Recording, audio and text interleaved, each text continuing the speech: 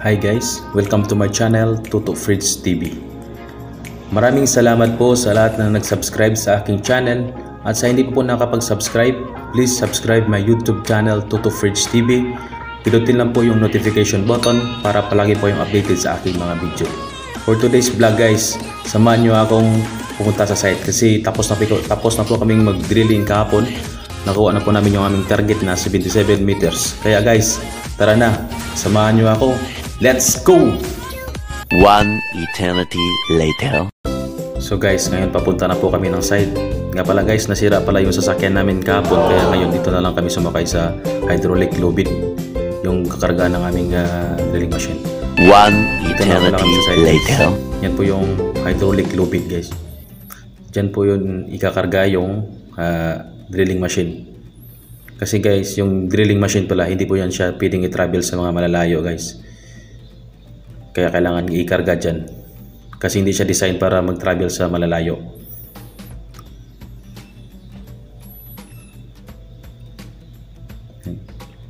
Mahaba pala yan guys. Yan po yung dami siyang gulong. Kasi yung karga niya guys ilang tinilada. Kaya guys, prepare na po namin yung ring para ikarga na po siya sa hydraulic lubid. So guys, bago siya ikarga, kailangan namin itong i-mass down. Baba po namin yung power rate niya. Yung, mass down niya po guys. I-prepare na po ni John yan.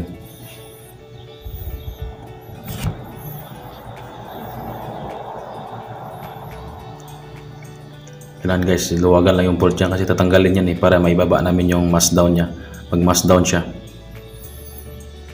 Kaya kailangan pagbaba niya guys, tandaan lang talaga.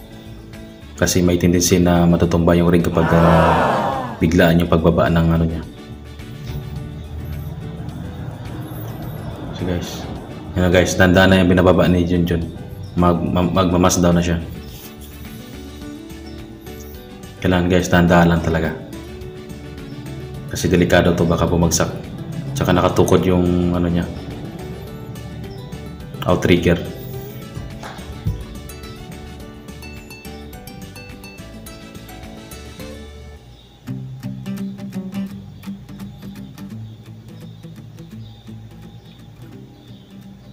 Malapit na guys.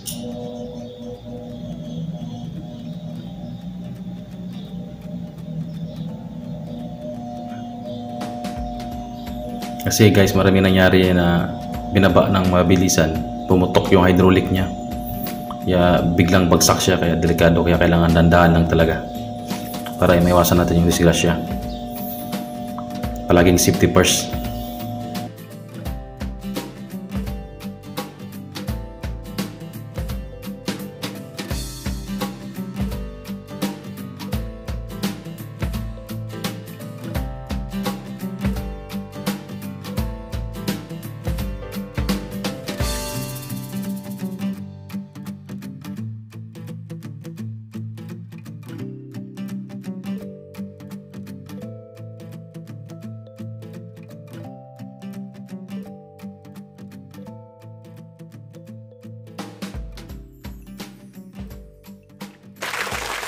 Kapag uh, nakababa na guys, lahat totally guys, kailangan na po nating tanggalin yung pad niya. Yung pad, yan po yung purpose niyan para hindi siya matumba. Kaya kailangan laging may pad. Laking tulong din yung pad na yan. Kasi may area kami na malalambot, kaya kailangan ng pad. Diyan kasi nakatukod eh. Tsaka yung bigat ng ring, diyan nakasalalay sa pad na yan.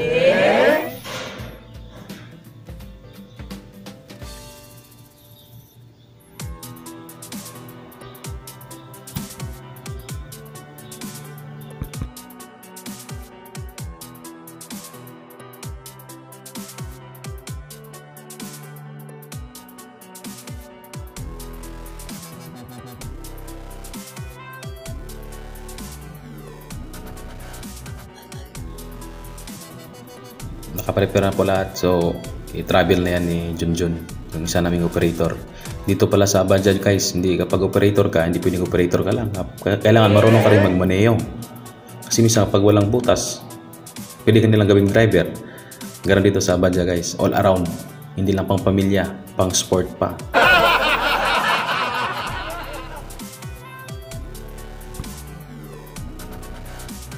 Pagta-travel po pala ng drilling rig, kailangan dandahan na guys. Kasi medyo malambot yung ating ground.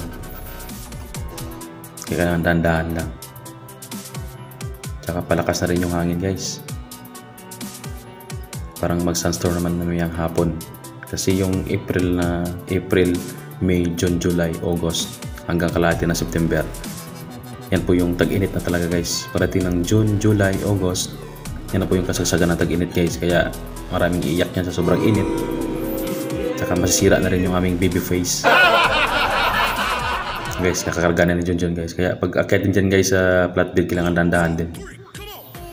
Kasi mas mabigat yung timbang sa puwitan eh. Dandahan lang.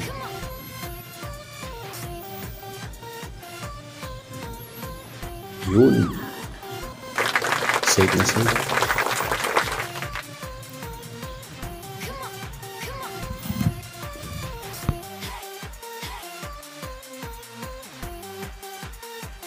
Nga pala guys, kailangan po natin yan talian yung gulong ng kadena para hindi po siya paggalaw-galaw during mag-travel siya para may iwasan din na mahulog yung karga niya tsaka balanse siya kapag may tali kabilaan.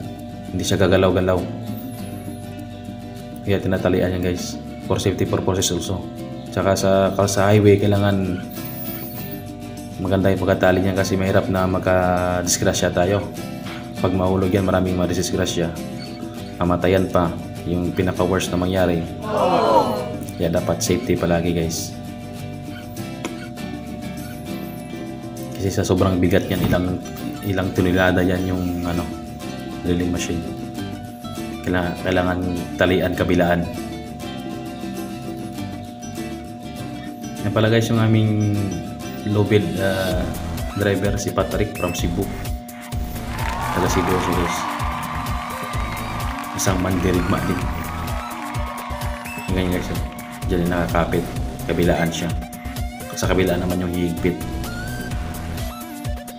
Bisdak from Cebu.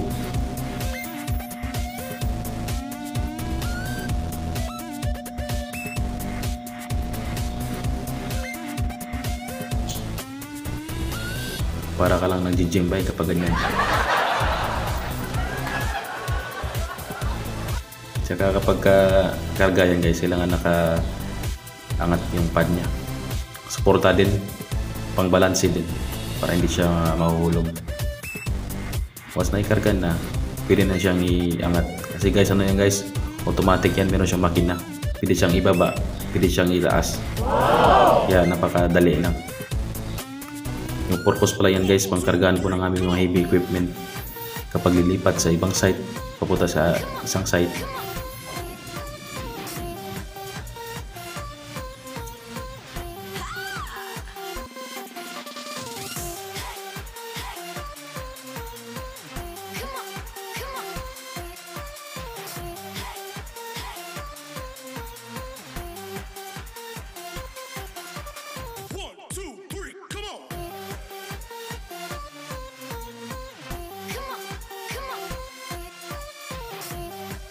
Kailangan guys, make sure natin na maigpit yung pagkakapit, pagkatali.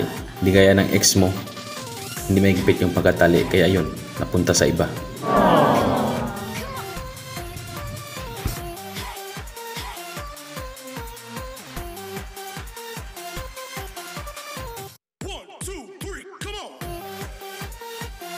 Diyan mo malalaman guys, pag yung driver natin na expert, tingnan mo guys.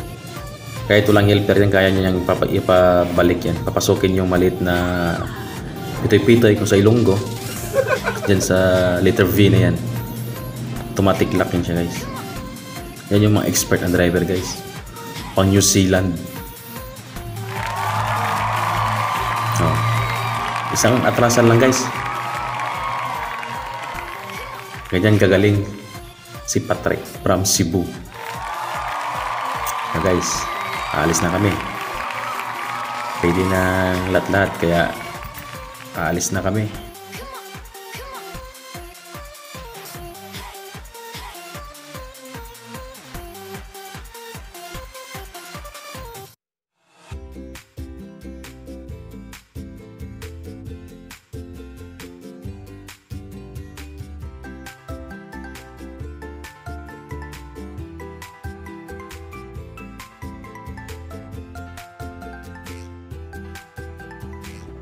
Dito nga parang kami sasakay guys kasi wala kami sasakyan nasira nga gaya na sabi ko kanina. Ito pala yung tractor head nito guys, napakalaki nito guys. Meron siyang tulugan sa likod. Kasi yung purpose yan guys, minsan kapag ah, sa biyahe, antukin ka or magpahinga ka, pwede ka matulog dyan sa likod. Yan guys, oh, pinagtulugan dyan sa likod. Mahaba yan. Yan po si Romano, driller, driller namin. Si Junjun, driller din namin, operator. Dalawa sila guys. Romano from Surigao. Tsaka yung aming driver, si Patrick, taga Cebu. Yan guys, yung aming driver. Expert yan guys, isang atrasan lang.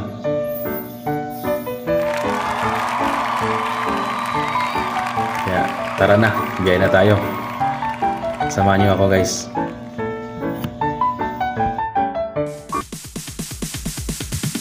Sorry, it's.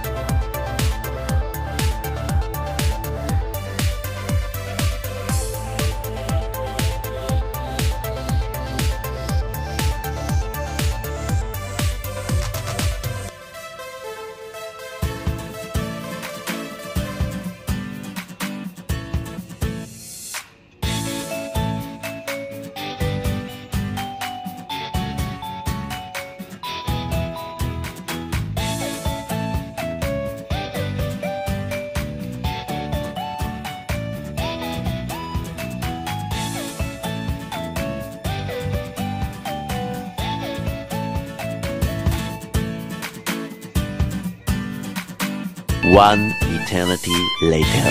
Ay salamat nakarating na din kami sa asphalt road guys. Kasi doon kanina sa rough road sobrang matagtag guys. Kaya nakakasakit sa katawan. Mga 30 minutes ba yung biyahe namin guys papunta sa aming lilipatan.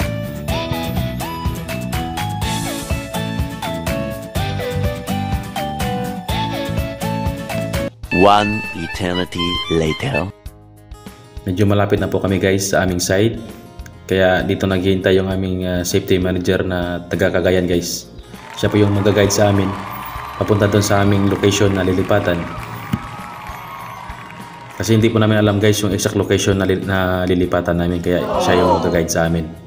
Nga pala guys, yung aming project is uh, more on uh, HPL guys at saka cathodic protection. Diyan po expert yung company ko. Kaya guys, sundan lang natin siya.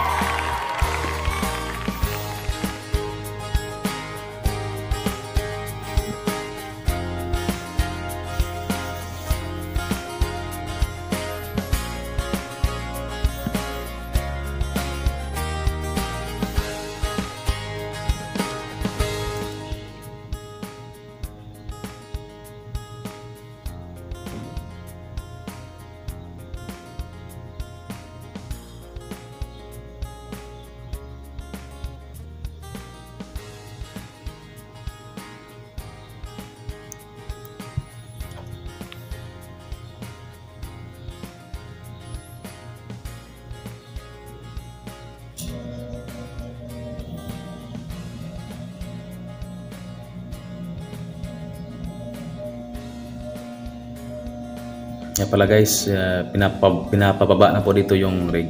Kasi mahirapan yung hydraulic lubid na papasok sa looban kasi malambot yung daanan guys. Kaya dito lang namin siya ipababa at saka i-travel lang namin yung rig papunta doon sa looban. Kasi mahirapan siya magmaniobra kasi sobrang haba ng trailer na to. Kaya dito lang namin siya ipababa guys.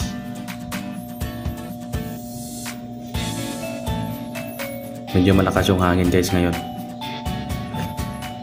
Saka yung doon pala sa likuran guys, planta po yan.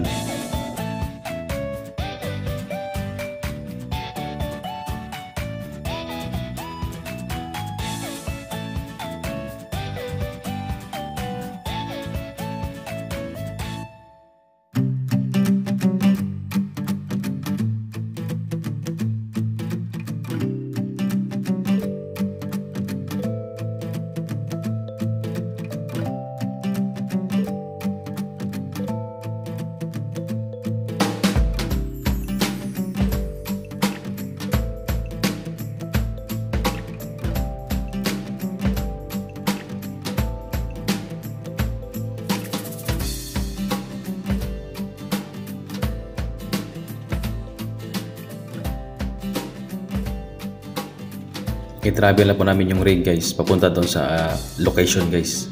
Kaya tara na.